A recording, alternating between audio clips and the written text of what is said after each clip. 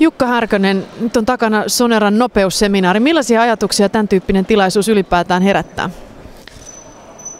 Erittäin positiivisia ajatuksia ja varsinkin se, että tuodaan, tuodaan tuota noin, niin eri urheilulajien, eri urheilulajien tuota, ihmisiä yhteen ja tuodaan sillä mielellä ne yhteen, että ihmiset tulee avoimesti keskustelemaan ja, ja tuomaan omia pointteja, omia pointteja esille ja tuota noin, niin tuollaista yhteistyötä, tuollaista yhteistyötä tarvitaan, niin tarvitaan seuratasolla, kun tarvitaan liittotasolla, sitä tarvitaan tässä suomalaisessa huippuurheilujärjestelmässä ehdottomasti, ehdottomasti.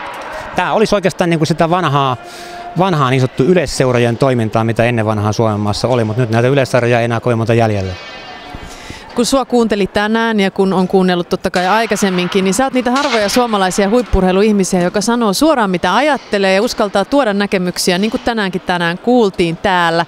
Kaivataanko me vähän enemmän persoonia, jotka uskaltaa ottaa kantaa ja herättää keskustelua siinäkin tapauksessa, että ehkä kaikki ei olekaan samaa mieltä? Joo, se olisi äärimmäisen yksinkertainen maailma, jos kaikki olisi samaa mieltä. Että tota, mun mielestä ehdottomasti pitää tuoda, pitää tuoda tuota, ää, erilaisista lähtökohdista riippuen niin pitää tuoda tuota, niin ne oma, omat mielipiteensä esille. Ja jos sä tuot sen oman mielipiteesi esille sillä tavalla, kun sä sen teet ja sillä tavalla, kun sen ajattelet, niin se on rehellinen lähtökohta. Sitä ei voi tehdä mitään muuta. Jos sä tuot sen joten, jotenkin muuten, niin kyllä sen kansa huomaa, että et, et, et, mitä, toi, mitä toi pappa tuolla puhuu. Että, tämä on aika, aika, aika vakava pointti, että tuota noin, niin voidaan, maailman huipulle voidaan mennä lajissa kuin lajissa hyvin eri tavalla, tyypistä riippuen ja, ja, ja systeemistä riippuen ja organisaatiosta riippuen. Me, meillä aivan liian paljon puhutaan järjestelmistä, jär, järjestelmän tekemisestä.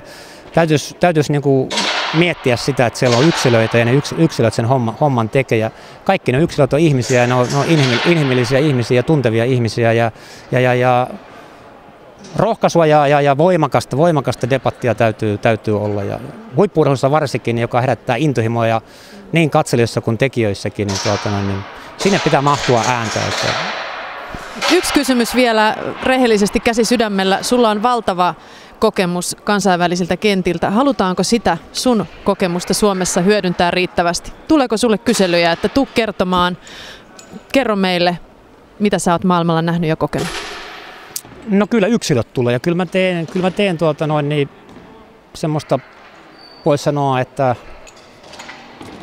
mielestäni aika tuota noin niin paljonkin tiettyjen su- suomalaisten urheilijoiden, ur- urheilijoiden kanssa ja heidän valmentajansa kanssa niin yhteistyötä ja kerron niistä kokemuksista. Ja mun mielestä niin kuin myöskin se, että ei, ei pelkästään se, että et, et joku Jukka Härkönen tulee keks, keksimään jotain tai, tai, tai kertomaan jotain tai kertomaan kokemuksestaan, vaan pitäisi yleensäkin lähteä siitä, siitä liikkeelle, että tämä tämä maailma on kuitenkin kaikilla tavoin tällä hetkellä aivan eri maailma kuin se oli mun nuorissa 70-luvulla. Et, et silloin oli vaikeaa päästä tuonne na- naapurirajan, na- naapurirajan puolelle, vaikka katsoo neuvostoliittolaista systeemiä tai DDR-harjoitusjärjestelmiä ja systeemiä. Et kyllä nykypäivänä tämä tiedonvaihto pitäisi olla, niin tämä kansainvälistyminen, niin se on kyllä meillä jäänyt voi sanoa, että tietyissä urheilumuodossa valitettavasti niin liian pieneen.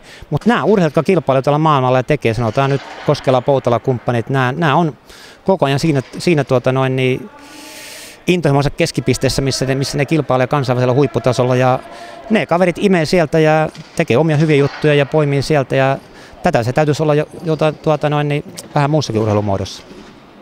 Kiitoksia tästä, Kiitti.